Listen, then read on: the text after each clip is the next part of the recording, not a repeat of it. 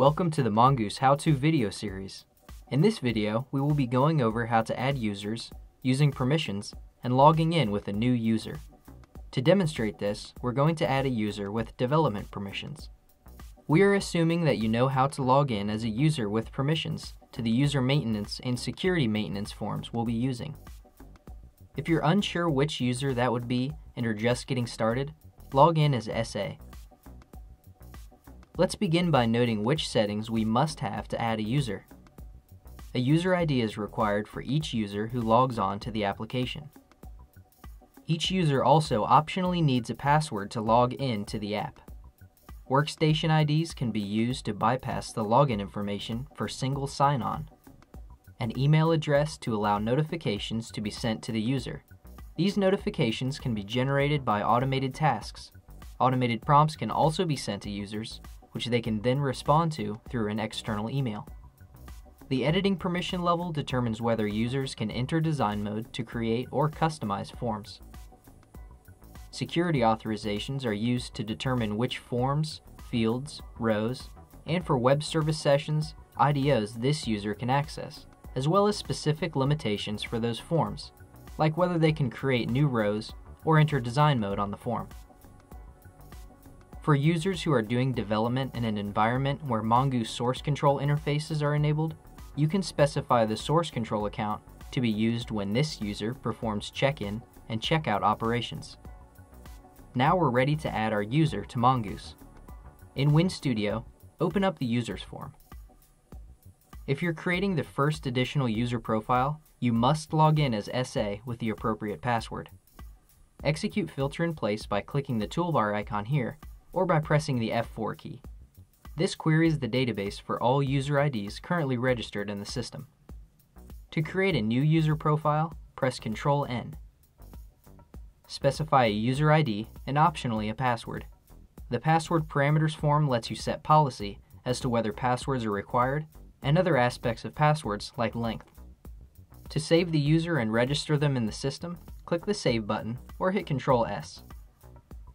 If you want to allow the user access to all the components for editing and development purposes, check the Super User checkbox. Note that if you mark a user account as super user, they can run all forms and see all data. Specify the level of editing permissions to be granted to the user. There are five possible settings here. Users with a permission level of none cannot enter design mode, and they can only view the Master Explorer and public folders, and customize their own My Folders in the Explorer. Basic users can enter design mode, but only make minimal customizations to their own user versions of forms. These users cannot create or delete forms, and they can view only the Master Explorer and public folders, and customize their own My Folders. Full users can make any level of form changes, but every form change they make is restricted to themselves. They can enter design mode to make all customizations for their own user versions of forms. They cannot create new forms or delete existing ones. Full users can view the Master Explorer and public folders and customize their own My Folders. Site developer users can make customizations and changes for everyone at any level of scope. These users have full access to design mode and can make all customizations for any user version, for any group version, or for a site version.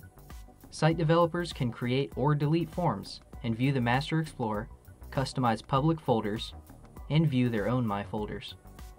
The vendor developer level of editing permissions does not appear in the dropdown, to create a user as a vendor developer, you must enter the number 4 in the Editing Permissions field. These users can build and change the base versions of forms. Site, group, and user levels of form customizations can be made on top of that base version. You should only set up a user as a vendor developer if instructed to do so by Infor support as a debugging tool.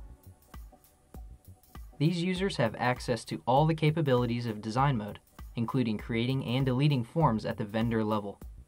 All work is saved as a vendor default version. They can also change the Master Explorer and customize their own My Folders, but cannot view public or user folders.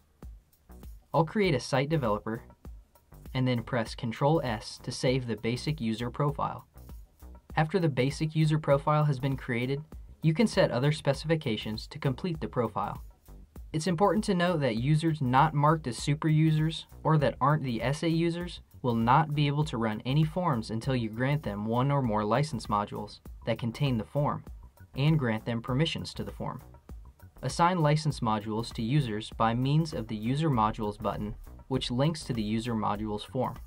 The Row Authorizations and User Authorizations buttons provide access to forms that control authorizations for this user at a form level or a component level. At the bottom of the user's form, the Groups tab is used to assign the user to one or more groups. Groups can be used to control multiple security authorizations for all group members. The primary group checkbox indicates that Mongoose should look for group-level form customizations for this user. The Login Information tab allows you to make additional settings that affect logins and passwords. The Email Address tab provides fields to define one or more email accounts for the user. This tab is not available until after you have saved the new user record.